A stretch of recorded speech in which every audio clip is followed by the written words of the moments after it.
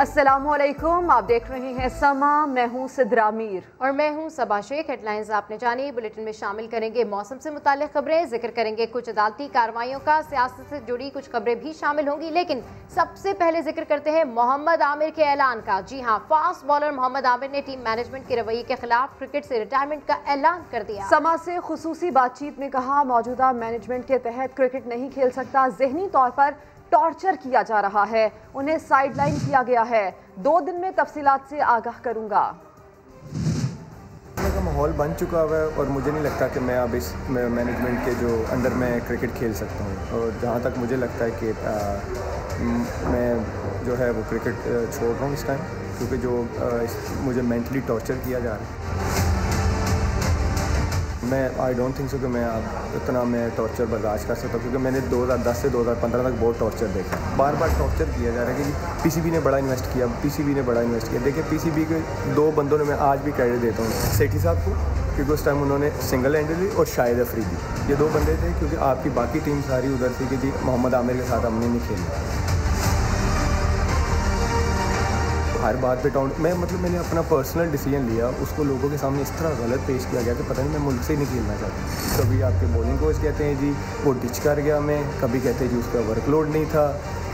कभी मुझे लड़कों के प्लान में नहीं रखा जाता तो क्या आप एहतजाजन रिटायरमेंट ले रहे हैं फ़िलहाल? जी मुझे नहीं लगता कि मैं अब इस जिस तरह का माहौल बन चुका मैं इस अंडर इस जो जो मैनेजमेंट है मैं उसके अंदर खेल सकता ज़्यादा तो सबको नज़र आ रही है टू बी ऑनेस्ट लेकिन यह है कि प्रॉपर क्योंकि जिन्होंने मुझे क्रिकेट में लेके आए जिन्होंने मेरा साथ दिया उनका भी मैं हमेशा से शुक्रिया अदा करना चाहूँगा। इसी पर सबक कप्तान शाहिद आफरीदी ने मोहम्मद आमिर के फैसले को हैरान कन करार देते हुए सवाल किया। आखिर सीनियर क्रिकेटर्स और बोर्ड के दरमियान इश्यूज़ क्यों सामने आते हैं? जमामुल हक कहते हैं मोहम्मद आमिर को पहले क्रिकेट बोर्ड से बात करना चाहिए थी। सबक कप्तान शाहिद आफरीदी ने मोहम्मद आमिर के फैसले को गलत करार दे दिया। समा से बातचीत में कहा कि बॉलिंग कोच फकार यूनुस को भी आमिर से बात करना चाहिए थी। आमिर का डिसीज़न मुझे बिल्कुल समझ नहीं आया। जब मुझे पता चला तो आमिर से मेरी बात हुई इस हवाले से। और आमिर को मैंने यही मशवरा दिया है कि आपका जो डिसीज़न है, मेरा नहीं ख्याल कि ये कोई अच्छा डिसीज़न है। हमेशा सीनियर प्लेयर्स का क्यों बोर्ड के साथ इश्यूज़ रहे हैं? अगर विकी भाई वाकई सिंसेयर है मोहम्मद आमिर से आ, उनको इक्वल वो आ, देते हैं समझते हैं सारे प्लेयरों की तरह तो मेरे ख्याल में मोहम्मद आमिर से खुद बात करके करना चाहिए था उनको बुलाना चाहिए था उनसे बात करना चाहिए था। हमने उनसे बात नहीं की इसलिए मोहम्मद आमिर को ये फैसला करना पड़ा जो कि मैं समझता हूँ गलत है। लेजेंडरी क्रिकेटर इंजमाम हक ने कहा कि आमिर को पहले बोर्ड से बात करनी चाहिए थी हेड कोच मिसबा को भी किरदार अदा करना चाहिए था। पाकिस्तान क्रिकेट के लिए अच्छा नहीं है कि जिस तरह के अगर प्लेयर इस तरह डिसार्ड होंगे ये मैं नहीं कह रहा कि ये वकार की गलती है या आमिर की गलती है, ये बोर्ड वाले बैठे हैं, उसको डिस्कशन करेंगे कि जी किसकी गलती है, कि कौन कहाँ है, कि जी अगर आमिर को भी कोई शिकायत थी तो वो सारों से पहले ना बोर्ड से डिस्कस करता है इस चीज़ को। हेड इनका मिसबा है तो मिसबा को भी इस चीज़ को देखना चाहिए था। या ये बोर्ड से कम्प्लेन करता है? इंजाम हक का कहना था कि पाकिस्तानी टीम अभी न्यूजीलैंड के दौरे पर है। ऐसे फैसलों से टीम पर फ़र्क पड़ सकता है।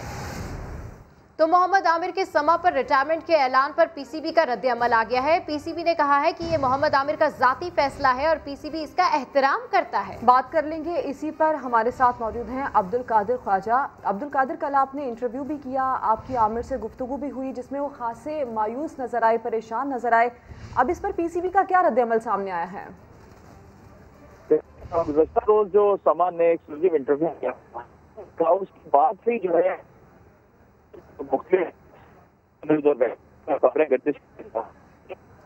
कादिर, आपकी आवाज़ ठीक से नहीं आ रही है। आपसे हम रबता करने की कोशिश करते हैं। मोहम्मद आमिर के समा पर, रिटायरमेंट के ऐलान पर पीसीबी का रद्दमल आ चुका है। पीसीबी ने कहा है कि ये मोहम्मद आमिर का ज़ाती फैसला है और पीसीबी इसका दिल से एहतराम करता है। लेकिन कल जब मोहम्मद आमिर का इंटरव्यू हमने सुना, उसमें उन्होंने वाज तौर पर यह कहा कि मैं दिल बर्दाश्ता हूँ। बर्दाश्त की एक हद होती है। अब उनसे बर्दाश्त नहीं किया जा रहा। बात कर लेंगे शुएब जट भी हमारे साथ हैं। बिल्कुल शुएब जट ने हमें ज्वाइन किया है। शुएब जट जिस तरीके से मोहम्मद आमिर ने समा पर रिटायरमेंट का ऐलान किया तो उसके बाद अब पीसीबी का रिएक्शन आ गया है और पीसीबी का ये कहना है कि उनका ज़ाती फैसला एहतराम करते हैं। देखिए बड़ा फैसला था और बड़ा ऐलान था जो मोहम्मद आमिर ने मुझसे आज बात करते हुए कराची में किया।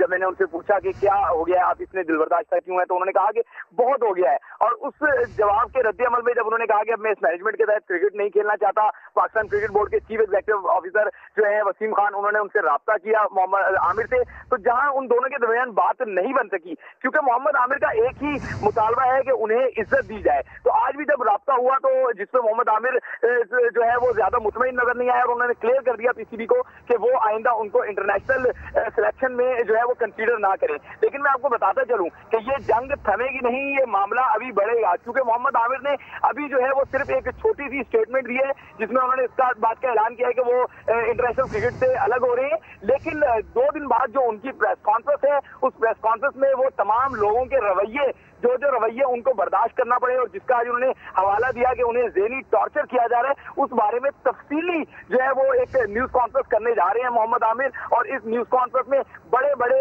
लोगों के नाम लेके वो बताएँगे कि किसने आमिर के साथ कैसा रवैया अपनाया और ऐसा कौन सा रवैया था कि जिस वजह से मोहम्मद आमिर को सिर्फ़ उनतीस साल की उम्र में जो है वो इंटरनेशनल क्रिकेट से अपने आप को अलग करना पड़ गया। तो एक बड़ा जो है वो तूफ़ान मुझे दिखाई दे रहा है, जो दो दिन बाद सबके सामने नज़र आएगा। कह कि एक बड़ा तूफ़ान उठता हुआ नज़र आ रहा है। अच्छा शुएब जट जिस तरीके से आज उन्होंने ऐलान किया और पीसीबी का रिएक्शन आ गया है तो दो दिन बाद जब वो इंकशाफात करेंगे तो क्या देख रहे हैं? सूरत हाल किस जानब जाएगी? क्योंकि आज जो शाहिद आफरीदी ने समा से गुफ्तु की बात की इंजमाम हक का भी यही कहना था कि मोहम्मद आमिर को ऐसा नहीं करना चाहिए था। क्या कहेंगे आप? देखिए, उन दोनों से भी मैंने ही बात की थी, शाहिद अफरीदी और इंतजामुल से जब मैं सवाल पूछ रहा था उन्होंने क्लियर कहा था कि पाकिस्तान क्रिकेट बोर्ड को चाहिए कि इस मामले को बैठकर हल करें। तो पाकिस्तान क्रिकेट बोर्ड जो है, वो शायद मूड में नहीं, नज़र नहीं आ रहा और वो जारहाना रवैया अपनाना चाह रहे हैं कि जैसा आमिर जो है, वो बॉल करेंगे, वैसा वो शॉट करेंगे। लेकिन मुझे लग रहा है कि ये मामला संभलेगा नहीं, बल्कि मजीद बिगड़ेगा। और जिस तरीके से आज पाकिस्तान क्रिकेट बोर्ड ने उनसे बात करने के बाद अपनी प्रेस रिलीज़ जारी की है कि हम उनके फैसले का एहतराम करते हैं तो मुझे लगता है कि अब आमिर जो है, अपने फैसले पर खुलकर बात करेंगे। और जब वो खुलकर बात करेंगे तो बहुत सारे खिलाड़ी, बहुत सारे मैनेजमेंट के जो लोग हैं या बोर्ड के जो ऑफिसर्स हैं उन हम्म। सब के बारे में नाम ले लेके वो बातें बताएँगे जो आवाम के सामने नहीं है। क्योंकि आवाम के सामने तो वो चीज़ होती है जो सबको दिखाई देती है लेकिन बिहाइंड द सीन जो एक स्टोरी चल रही होती है आमिर ने यह फैसला किया है कि उसको मुकम्मल तौर पर बेनकाब करे और सब लोगों का नाम बताएँ कि किसने उनके साथ कैसा रवैया अपनाया है किस तरीके से उन्हें जहनी टॉर्चर किया जाता रहा है। दो दिन के बाद वो प्रेस कॉन्फ्रेंस करेंगे और अहम ऐलान मुतव हैं जो कि मोहम्मद आमिर अब करने वाले हैं और इसमें वो नाम भी लेने वाले हैं। अब्दुल कादिर ख्वाजा भी हमारे साथ हैं। अब्दुल कादिर, इसके ऊपर जो आमिर का फैसला है पीसीबी का रिएक्शन आ गया। जो दीगर सीनियर खिलाड़ी हैं, मोहम्मद आमिर के इस फैसले से मुतालिक वो क्या कह रहे हैं? आमिर को सपोर्ट कर रहे हैं? क्या कह रहे हैं अपने रद्दमल में? देखिए गुजस्ता रोज जो हमने समा में इंटरव्यू किया था मोहम्मद आमिर का, उसके बाद ही क्या सराइयाँ आनी शुरू हो गई थी कि मोहम्मद आमिर जो है वो रिटायरमेंट लेने के बाद ही इतना बड़ा फैसला कर सकते हैं कि वकार यूनस और मिसबा हक पर। डायरेक्ट तनकीद का निशाना बना रहे हैं। उन्होंने कहा था मुझे इंटरव्यू में भी कि वकार यूनस जो है, वो उनको जहनी तौर पर टॉर्चर करते आ रहे हैं और लोगों के सामने जो है, वो मेरा मनफी इमेज क्रिएट किया गया है। इसी तरह अभी कुछ देर कबल जो है, वो मेरी बात हुई तो उनका यही कहना था कि मैं बाय रोड लाहौर आ रहा हूँ उसके बाद आके प्रेस कॉन्फ्रेंस करूँगा। तो मोहम्मद आमिर का इशू जो है, उस हवाले से जो पाकिस्तान क्रिकेट बोर्ड ने जो एलामिया जारी किया है, उसमें उन्होंने दो टोकल बाद में यही मैंशन किया है कि पाकिस्तान क्रिकेट बोर्ड के जो सीईओ हैं, वसीम खान, उन्होंने रबता किया। और उनको नेक तमन्नाओं का इजहार किया लेकिन उनको मनाने का कायल नहीं किया गया। ये वर्डिंग यूज़ की कि पाकिस्तान क्रिकेट बोर्ड की तरफ़ से कि मोहम्मद आमिर का जाती फैसला है और पीसीबी इसका एहतराम करता है। इस वजह से जो है उनको आइंदा किसी सीरीज़ में कंसीडर नहीं किया जाएगा। लेकिन अब देखना यह है कि मोहम्मद आमिर जब प्रेस कॉन्फ्रेंस करेंगे तो क्या बड़े नाम हैं जो वो ले सकते हैं और क्या तहफात है जिनका वो इजहार कर सकते हैं? अब्दुल कादिर खाजा और शुएब जट आप दोनों का शुक्रिया। आगे बढ़ते हैं। वजी अजम इमरान खान की जेर सदारत, कौमी रबता कमेटी, बरए स्मॉल एंड मीडियम इंटरप्राइजेस का अजलास हुआ है। वजी अजम ने स्मॉल एंड मीडियम इंडस्ट्रीज़ के फरोग के लिए मुकर अहदाफ जल्द मुकम्मल करने की हिदायत कर दी है। इसके अलावा एम के एम के वक्त से मुलाकात में वजी अजम का कहना था कि इतिहादी जमात को किसी सूरत नज़रअंदाज नहीं करेंगे। इसी से मुतल बात करेंगे। अब्बास शबीर हमारे साथ हैं। अब्बास, बताइए वजी अजम ने किन किन अमूर पर गुफ्तु की और क्या हिदायत दी? देखें, अगर पहले कौमी रास्ता कमेटी पर स्मॉल मीडियम एंड एंटरप्राइजेस के इजलास की बात की जाए तो उसमें वजी अजम ने आज वाजे किया है कि छोटे और दरमियाने दर्जे की कारोबारी मीशत जो है, वो अहम जुड़े हैं, उसको फरोग देकर मीशत मुस्कम होगी और रोज़गार के मौके बढ़ेंगे। साथ साथ तमाम माशी इशारिये मजबत सिंध में जा रही हैं, इसलिए इनमें मजीद बेहतरी के लिए एस एम ईज का फरोग ज़रूरी है। वज़ीर अजम ने इस मीटिंग के बाद गवर्नर इमरान इसमाइल से वन ऑन वन मुलाकात की, जिसमें ग्रीन लाइन लाइन मनसूबे और सिंध में सियासी सूरत हाल है उस पर तबादला ख्याल किया गया। उसके बाद वजी अजम ने एम पी एम के वक्त से मुलाकात की है। उसमें अमीनुल्ला खालिद कपूर सिद्दीकी और हैदराबाद रिजी समेत गवर्नर सैद असद उमर और अली हैदर जैदी मौजूद थे। वजी अजम ने इस मुलाकात में वाजे किया है कि एम पी एम पाकिस्तान हमारी इतिहादी है और किसी भी मौके पर हमें हम इनको नजरअंदाज नहीं करेंगे। एम पी एम के वक्त में वजी अजम के सामने लापता सियासी कारकुनों और मुकदमात का मामला उठाया जिस पर वजी अजम ने वजारत दाखिले को मामले पर मुकम्मल यकीन दयानी करने का वजी अजम ने कहा कि वजारत दाखिला इस मामले ठीक है अब्बास इससे मुतालिक अपडेट करने के लिए आपका शुक्रिया। मुस्लिम लीग नून की नायब सदर मरियम नवाज़ की जेर सदारत लाहौर के M N S M P S mayor और डिप्टी मेयर्स का इजलास जारी है। इजलास में किन उमूर पर मुशावरत हो रही है? बता रहे हैं समा के नुमाइंदे अब्बास नकवी। जी अब्बास इजलास की अंदरूनी कहानी क्या है? जी, जाती उम्र में इस वक्त मरियम नवाज़ की जेर सदारत जो है कि इजलास जारी है, जिसमें लाहौर शहर के M N As M P As mayors और डिप्टी मेयर्स को जो है बुलाया गया है जोराने के ऊपर। और जो जलसा हुआ, उसके हवाले से मामला जेर गौर आ रहे हैं और उसके साथ साथ जो नून लीग का बयानिया है कि वोट को इज़्ज़त दो। ज़रा का कहना है कि मरियम नवाज़ जो है इसके हवाले से डिस्कशन कर रही हैं कि नून लीग में अब सिर्फ़ एक ही बयानिया चलेगा, वोट को इज़्ज़त दो। और उसी के ऊपर जो है वो M N As M P As mayor deputy mayor उनको कन्विंस कर रही हैं, उसके साथ साथ उनका ये भी कहना है कि नून लीग को इसी बयानिए के ऊपर जो है लाहौर में पंजाब में और पाकिस्तान में अब मज़बूत किया जाएगा और इसी बयानिए को लेकर जो है नून लीग अब मजीद आगे चलेगी। ठीक है अब्बास नकवी अपडेट कर रहे थे आपका शुक्रिया। नवाज़ लीग में विकेट के दोनों तरफ़ खेलने वाले मौजूद हैं। M N A Rohail Asghar ने भी जावेद लतीफ़ के मौकफ की तायद कर दी। साथ ये भी कहा कि जावेद लतीफ़ में अखलाकी ज़रूरत थी तो वह ऐसे लोगों के नाम भी लेते। जावेद लतीफ़ ने समा से गुफ्तगु में कहा था कि चार से छह लोग विकेट के दोनों तरफ़ खेल रहे हैं। चार छह लोग विकेट के दोनों जानब अब भी खेल रहे हैं। पहले वो विकेट के एक जानब थे अब दोनों जानब। रोहेल अस्कर का कहना है कि जावेद लतीफ को इन अपराध के नाम लेने चाहिए थे। इतनी आप में इखलाकी ज़रूरत होनी चाहिए कि आप नाम लें? कि फलाना आदमी जो है विकेट के दूसरी तरफ़ खेल रहा है विकेट के दोनों तरफ़ खेलने वालों के लिए रोहिल असगर ने पैगाम दिया कि उन्हें टिकट लेते वक्त ख्याल क्यों नहीं आया। उन्नीस सौ अठारह में जब आप टिकट लेने गए थे मियाँ नवाज़ शरीफ से आपको नहीं समझ आई थी आपको नहीं पता था उस वक्त क्यों गए थे क्यों लाइन में खड़े थे? और अगर आप दूसरी विकेट की तरफ़ खेलना चाहते हैं तो इस टीम से आप इस्तीफा दे दें।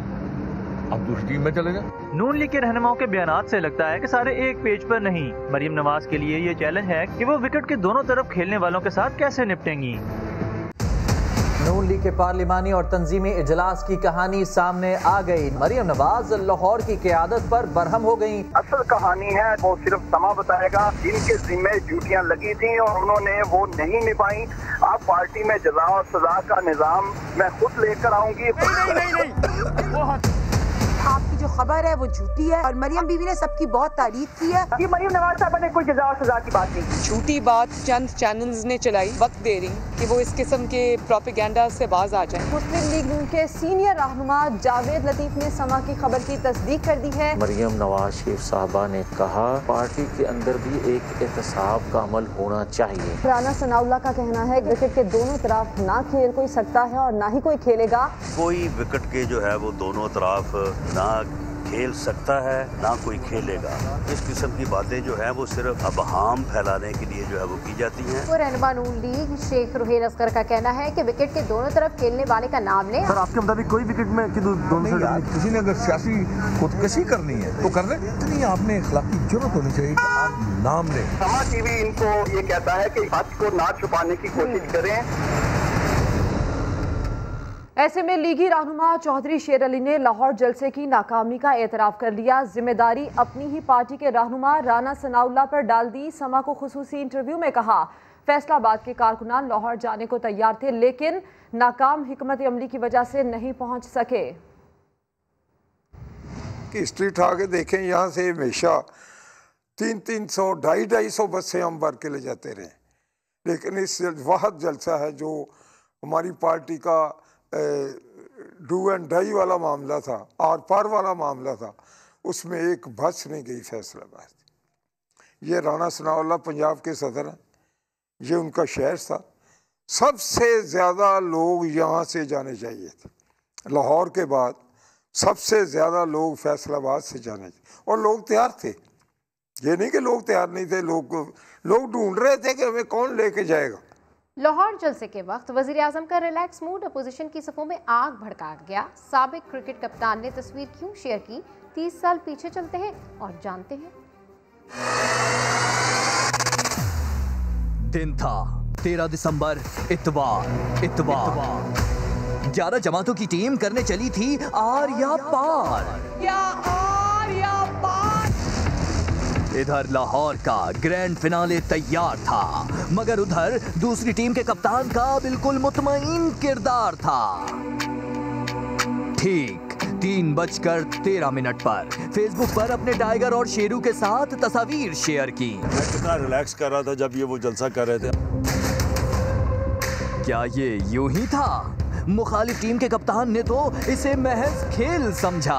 जब हुकूमत के ऐवानों में आदमी होता है तो उसको बाहर का ज़्यादा पता नहीं चलता। है वो फिर ज़्यादा से ज़्यादा उसको कुत्तों के साथ खेल रहा होता है। अपनी तस्वीर शेयर करते हैं अपने कुत्तों से खेल रहे हैं। आपको वज़ीर आज़म के जो वज़ीर है इनके लिए इस किस्म के अल्फाज इस्तेमाल नहीं करना कोई ना समझ सका। जिस दिन पीडीएम का जलसा होता है प्राइम मिनिस्टर अपने कुत्तों को खाना खिलाने खिलाते हुए एक तस्वीर रिलीज़ करते हैं। मुल्क को कहते हैं ठंड प्रोग्राम में चल रहा हूँ। इस मकसद को समझने के लिए उन्नीस सौ बानवे में जाना होगा।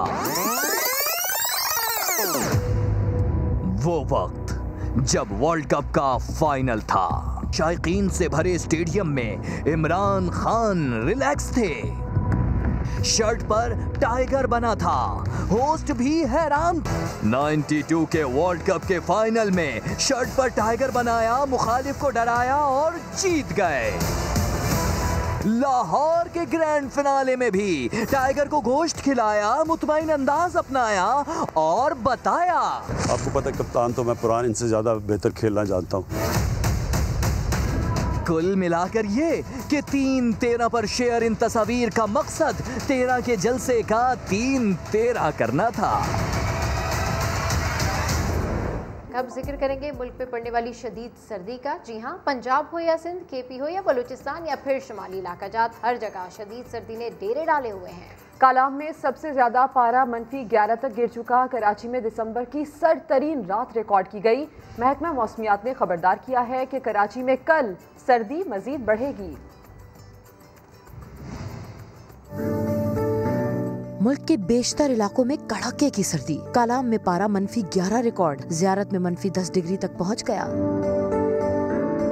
कोयटा में पारा मनफी आठ तक गिरने से पानी जम गया। सकरदू में दर्जा हरारत मनफी आठ रिकॉर्ड किया गया, जबकि दीर, चित्रार और कल्लात में यकबस्ता हवाएँ चल रही हैं। लाहौर में पारा तीन डिग्री होने से शहरियों के दांत बजने लगे। कराची में भी कड़ाके की सर्दी पड़ी। दिसंबर की सर्द तरीन रात रिकॉर्ड की गई। कराची का मिनिमम टेम्परेचर है वो 10 डिग्री सेल्सियस रिकॉर्ड हुआ है। कल इसके एक आध डिग्री और कम होने के चांसेस हैं। कोयटा की तेज हवाएँ चलने से बाइक पर जाने वाले ठिठर कर रह गए। शहरियों के दांत बज उठे। सर्दी बहुत है दो तीन दिन से। फजर के बाद से तो ऐसी हालत होती है कि दस ग्यारह बजे तक, बारह बजे तक भी जो है ना सर्दी कम होने का नाम ही नहीं ले रही है। हैदराबाद का पारा नौ डिग्री हो गया। तेज हवाओं ने सर्दी में मजीद इजाफा कर दिया। महकमा मौसमियात ने खबरदार किया है कि इस्लामाबाद समेत पंजाब, मुल्क के शुमाली इलाकाजात और शिमाली बलूचिस्तान में मौसम शदीद सर्द रहेगा। दर्जा हरारत में मजीद कमी होगी। पूरा महीना लिहाफों और कम्बलों का जमाना रहेगा। दूसरी जानब स्वात की तहसील बहरीन में ग्लेशियर से रख गया जद में आकर दस मकाना तबाह हो गए। कोई जानी नुकसान नहीं हुआ है। ग्लेशियर तहसील बहरीन के इलाके सरे में शदीद बर्फबारी के बायस सरका था। इस मंजर को मुकामी शहरी ने अपने मोबाइल कैमरे में महफूज किया। वीडियो में देखा जा सकता है कि भारी तोदा पहाड़ से सरककर आबादी की तरफ़ आ रहा है। बर्फबारी के बायस अहले इलाका पहली मकान खाली कर चुके थे, जिसकी वजह से कोई जानी नुकसान नहीं हुआ। और इससे कभी उन्नीस सौ तिरानवे में भी इसी मुकाम पर ग्लेशियर गिरा था, जिसके नतीजे में तेईस अफराद लुकमा अजल बने थे जिसके बाद हर साल इस गाँव के बासी बर्फबारी शुरू होने से कबल ही नकल मकानी कर लेते हैं। और अब आपको दिखाते हैं, एबटाबाद में बर्फबारी के बाद मनाजिर किस कदर हसीन है। बुलंदोबाला पहाड़ ऊँचे ऊँचे दरख्त सब सफ़ेद चादर से ढक गए हैं। लोग चेयर लिफ्ट पर इन मनाजर का मज़ा ले रहे हैं। बिल्कुल, समा की स्क्रीन पर ये मनाजिर भी आप देख सकते हैं कि कितने खूबसूरत मनाजिर हैं ये। एबटाबाद में बर्फबारी के बाद मनाजिर कितने ज़्यादा हसीन हो गए हैं। बुलंदबाड़ा पहाड़ ऊँचे ऊँचे दरख्त, सब सफ़ेद चादर से ढक गए हैं और लोग चेयर लिफ्ट पर इन मनाजिर का मज़ा ले रहे हैं। समा की स्क्रीन पर आप ये मनाजिर देख सकते हैं। खूबसूरत पाकिस्तान, खूबसूरत एबटाबाद ये खूबसूरत नज़ारे, ये खूबसूरत मनाजिर हैं। एबटाबाद में बर्फबारी के बाद मनाजिर और हसीन हो गए हैं। बुलंदबाला पहाड़, समा की स्क्रीन पर आप देख सकते हैं ऊँचे ऊँचे दरख्त। ये सब सफ़ेद चादर से ढक गए हैं। लोग चेयर लिफ्ट पर इन मनाजिर का मज़ा ले रहे हैं। और अमेरिका, जहाँ कोविड 19 से सबसे ज़्यादा मुतासर है, वहीं इसे सर्द और शदीद मौसम ने भी घेरा हुआ है। न्यूयॉर्क समेत कई शहरों में इमरजेंसी नाफिज कर दी गई है। मुख्तलिफ़ हादसा में तीन अफराद हलाक हो चुके हैं। करप्शन केसेस में नैब को मतलूब जियाले रहनुमाओं के गिर्द कानून का शिकंजा सख्त होने लगा। सिंध हाई कोर्ट ने मुशीर जेल खाना जात एजाज जाखरानी की दरखास्त जमानत मुस्तरद कर दी, मगर अदालत में पेश न होने के बायस नैब के हाथ नहीं आ सके। नैब कोर्ट ने शर्जील मेमन को भी 12 जनवरी को हाजिरी यकीनी बनाने का हुक्म दे दिया है। निसार खोड़ों को अबूरी जमानत में तोसी मिल गई। इस हवाले से रिपोर्ट कर रहे हैं इरफान हक। जेल खानाजात के मुशीर के लिए हवालात के दरवाजे खुलने लगे। सिंध हाई कोर्ट ने एजाज जाखरानी की दरख्वास्त जमानत मुस्तरद कर दी। करप्शन रेफरेंसेस में मतलूब एजाज जाखरानी अदालत में पेश ही नहीं हुए। नए हुक्म मुशीर जेल खाना जात को गिरफ़्तार करने के लिए मुतहरिक हो गए। प्रोसिक्यूटर के मुताबिक, जियाल रहनुमा के खिलाफ जैकबाबाद हाईवे की तमीर में करप्शन समेत आमदनी से ज़्यादा असासे बनाने की इंक्वायरी जारी है। एजाज जाखरानी के खिलाफ दो रेफरेंसेस दायर हो चुके हैं। एक और जियाले रहनुमा शर्जील मेमन के खिलाफ भी कानून का शिकंजा सख्त होने लगा। आमदनी से ज़्यादा असासे बनाने के इल्ज़ाम में एहतसाब अदालत ने 12 जनवरी को शर्जील मेमन समेत उनकी अहलिया, वालिदा और दिगर तमाम मुलजमान को हाजिर होने का हुक्म दे दिया। दूसरी जानब निसार खोड़ो को मजीद आज़ादी मिल गई। अबूरी जमानत में 27 जनवरी तक तोसी मिल गई। निसार खोड़ो के खिलाफ महकमा फ़ूड खैरपुर और सखर में करप्शन से मुतालिक इंक्वायरी जारी है। अदालत ने आइंदा समात पर पेशरफ रिपोर्ट तलब कर ली। इरफानुल हक, समा, कराची। और पाकिस्तान ने सऊदी अरब को मजीद एक अरब डॉलर्स वापस कर दिए। कर्ज की दूसरी किस्त चीन की मदद से लौटाई गई। वजारत ख़जाना और स्टेट बैंक हुकाम ने सरकारी तौर पर इस पेशरफ के हवाले से कुछ बताने से इनकार किया है। शकील अहमद की रिपोर्ट। पाकिस्तान ने सऊदी अरब को तीन अरब डॉलर के वाजबुल अदा कर्ज में से एक अरब डॉलर की दूसरी किस्त वापस कर दी। जराए वजारत खजाना के मुताबिक रकम गुजशत रोज चीन की मदद से सऊदी हुकूमत को वापस की। पाकिस्तान ने जुलाई में एक अरब डॉलर सऊदी अरब को अदा किए थे, जबकि मजीद एक अरब डॉलर बहुत जल्द वापस कर दिए जाएँगे। सऊदिया ने साल 2018 में जर मुबादला जखायर बेहतर बनाने के लिए पीटीआई सरकार को नर्म शराय पर तीन अरब डॉलर का कर्जा दिया था, जबकि मौखर अदायगी पर तीन अशरिया दो अरब डॉलर की तेल की सहूलत भी फ्राहम की थी। लेकिन बाद में सऊदी अरब ने रकूम की वापसी का मुतालबा कर दिया था। तर्जमान स्टेट बैंक आबिद कमर का पेशरफ पर तबसरे से इनकार, कहा वो सरकारी तौर पर इसकी तस्दीक या तरदीद नहीं कर सकते। उधर वजारत खजाना के हुकाम ने समा को बताया कि ये दो दोस्त मुल्कों का बाहमी खुफिया या अंदरूनी मामला है, इसलिए तबसरा नहीं किया जा सकता। ताहम हुकाम का कहना है की पाकिस्तान के जर मुबादला जखायर मुस्तकम होने के साथ साथ तरसीलाते जर में भी इजाफा हो रहा है। शकील अहमद, समा, इस्लामाबाद। मुल्क में कोरोना की दूसरी लहर शिद्दत इख्तियार कर गई है। एक रोज में मजीद इकहत्तर अफराद जहाँ बाग हुए, वायरस से सीनियर सहाफ़ी तारिक महमूद भी इंतकाल कर गए। ढाई हज़ार से जायद नए केसेज रिपोर्ट हुए हैं। मुल्क भर में अमवात की शरह दो अशारिया सिफर, दो हो गई। इस्लामाबाद से अरहम खान की रिपोर्ट। कोरोना वायरस के हलाकत खेज बार जारी। 24 घंटे में मजीद इकहत्तर हलाकतें। पंजाब में उनतालीस, सिंध पंद्रह और खैबर पख्तूनखा में तेरह अफराद जान की बाजी हार गए। पाकिस्तान में मजमुई अमवात नौ हज़ार अस्सी हो गई सीनियर सहाफी तारिक महमूद मलिक कोरोना के बायस इंतकाल कर गए। तारिक महमूद समा टीवी की रिपोर्टिंग टीम का हिस्सा भी रहे हैं। एनसीओसी के मुताबिक गुजशत रोज चालीस हज़ार नब्बे टेस्ट किए गए, जिनमें से दो हज़ार पाँच सौ पैंतालीस मुस्बत निकले। मुल्क में एक्टिव केसेस की तादाद बयालीस हज़ार आठ सौ इक्यावन तक पहुँच गई इस्लामाबाद में चवालीस फ़ीसद, मुल्तान तैतालीस, लाहौर तीस और पिशावर में सत्ताईस फ़ीसद मरीज़ वेंटिलेटर आरोप मौजूद। मुल्क की सतह पर कोरोना केसेस की शरह में कमी रिपोर्ट। तनासुब छह इशारिया तीन फ़ीसद रिकॉर्ड। सूबों में बलूचिस्तान चौदह इशारिया दो और शहरों में कराची सोलह इशारिया पाँच नौ फ़ीसद शरह के साथ पहले नंबर पर है। पिशावर में तनासुब तेरह इशारिया तीन चार और मीरपुर में नौ इशारिया चार सिफर फ़ीसद रहा। दो हज़ार पाँच सौ पचास मरीजों की हालत तशवीशनाक है। और कोरोना की वजह से मरीजों को लगाई जाने वाली ऑक्सीजन गैस की तलब बढ़ी तो सिलेंडर का रेट भी तकरीबन डबल हो गया। मोहम्मद लुकमान रिपोर्ट करेंगे। अस्पतालों में कोरोना के मरीज़ बढ़े तो ऑक्सीजन की फरोख्त भी हो गई तेज।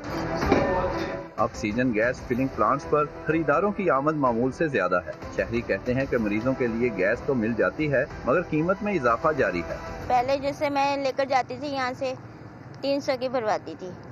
अब यानी कि साढ़े तीन सौ चार सौ में भरी जाती है। अभी तो ये तकरीबन चार सौ रुपये एक सिलेंडर फिल होने के पैसे लगते हैं और जब भी किसी का टाइम आता है वो थोड़ी सी प्राइसेस इंक्रीज तो ज़रूर होती हैं।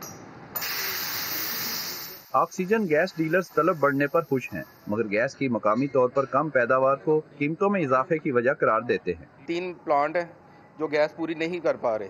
पीयूएल जिस तरह कंपनियाँ बाहर से इंपोर्ट कर रही है पहले ये गैस मिल जाती थी पचास रुपए साठ रुपए क्यूबिक मीटर में अब वो 150 प्लस पे चली गई है। पाकिस्तान में अब तक कोरोना वबा से साढ़े पाँच लाख अफराद मुतासर हुए हैं। कैमरामैन लियाकत बशीर के साथ मोहम्मद लुकमान समा लाहौर। सिंध में कोरोना के बढ़ते केसेस के बाद सूबाई हुकूमत का बड़ा फैसला सूबे भर में मदारस बंद करने का हुक्म दे दिया। बात कर लेंगे मुदसर नज़ीर से। मुदसर नोटिफिकेशन में क्या बताया जा रहा है? कितने अरसे के लिए बंद किया जाएगा मदारस को?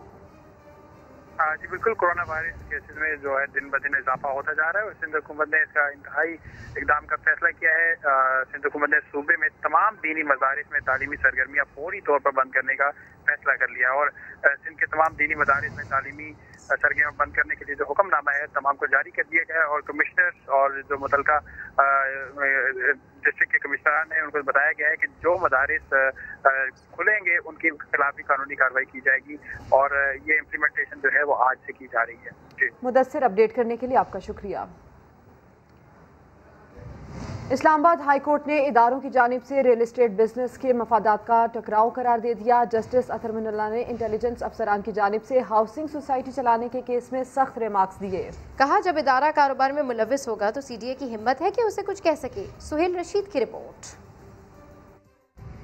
इस्लामाबाद हाई कोर्ट में इंटेलिजेंस ब्यूरो अफसरान की जानब से हाउसिंग सोसाइटी चलाने के खिलाफ केस। दुरान समात अदालत ने वकील आई बी से कहा मुतमिन करें, सरकारी अफसर कैसे बिल वास्ता या बिलावासा रियल स्टेट कारोबार देख सकता है? क्या आई बी अफसरान इस तरह कारोबार में मुलविस हो सकते हैं?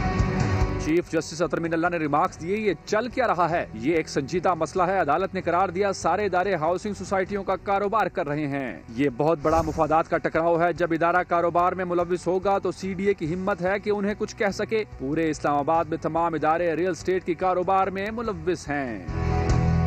आईबी के वकील ने जवाब जमा कराने के लिए मोहलत की इस्तदा की जिसे अदालत ने मंजूर कर लिया। समाज जनवरी 2021 तक मुलतवी कर दी गई। सारंग खान नामी दरखास्त गुजार ने आईबी कोऑपरेटिव सोसाइटी के कोऑर्डिनेटर्स की तैनाती चैलेंज कर रखी है।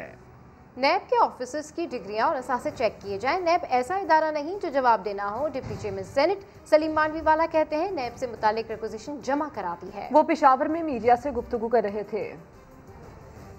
ने रिक्वेजिशन भी जमा करा दी है, जिसमें नैब ऑफिसर्स के assets NAB office degrees NAB officers के अपॉइंटमेंट्स वो सारी कमिटीज़ में डिस्कस होंगी चेक होंगी और एग्जैक्टली exactly वही ओवरसाइट करेगी कमिटीज़ जो हम गवर्नमेंट के दूसरे इदारों पे करते हैं। नैब कोई एग्जाम्प्ट नहीं है किसी चीज़ से। ये अलग बात है कि नैब पे कभी इस किस्म की चीज़ें हुई नहीं। मगर मैं नहीं समझता कि नैब कोई ऐसा इदारा है which is above the constitution of Pakistan which is above the parliament of Pakistan और they are accountable they are accountable in every respect to the parliament और वो अब होने जा रहा है। आगे बढ़ते हुए बताएँ, चावलों पर चढ़ा महँगाई का रंग भी उतरने लगा कराची की होलसेल मार्केट में चावलों की कीमतें 15 से 30 रुपए तक कम हो गईं। मगर रिलीफ तो कहीं मिला नहीं, क्योंकि आम दुकानों पर महँगा जो बेचा जा रहा है, इस हवाले से रिपोर्ट कर रहे हैं रिजवान आलम मीठे से पहले नमकीन हो जाए तो क्या ही कहने। जी जनाब, चीनी के बाद अब चावल भी सस्ते होने लगे। नई फ़सलें होलसेल के रेट गिरा दिए। हर किस्म का चावल सस्ता हो रहा है। बीस ऐसी पच्चीस रूपए किलो कम हुए चावल के रेट। तो मजीद जो है, अभी तक तकरीबन नई फ़सल आई है। तकरीबन यही रेट रहेंगे। सबसे अच्छा चावल जो था, पहले हम बेच रहे थे एक सौ पैंसठ सत्तर के दरमियान। तकरीबन उसका रेट है 150 145 रुपए के रेट आ चुके हैं तकरीबन। कम रेट की जो आम रूटीन की क्वालिटी होती है उसमें तकरीबन समझने के 15 से 20 रुपए का उसमें भी फ़र्क आया है। होलसेल रेट कम होने से दुकानदार तो खूब फ़ायदा उठा रहे हैं लेकिन आवाम को महँगा ही बेचा जा रहा है। होलसेल में तो होगी सुना है कि कर रहे हैं जैसे रेट दिखाने लेकिन जब हम खरीदने जाते हैं आम रिटेलों से शॉप्स वगैरह से तो उसमें फ़र्क तो कोई नहीं पड़ा। नो कमी नहीं आई। बिल्कुल भी नहीं आई। ये एक सौ दस में मिलते थे हमें अभी एक सौ बीस में मिले। तो बढ़ के आई। हुकूमती रेट फिर कहीं खो गई। जूड़िया बाज़ार में धड़ाधड़ चावलों की खरीदारी जारी है लेकिन आवाम अब तक सबर का घूट पीने पर ही मजबूर है। कैमरामैन राशिद इशरत के साथ सैयद रिजवान आलम समा कराची। एक ब्रेक के बाद होंगी हेडलाइंस। देखते रहिए समा।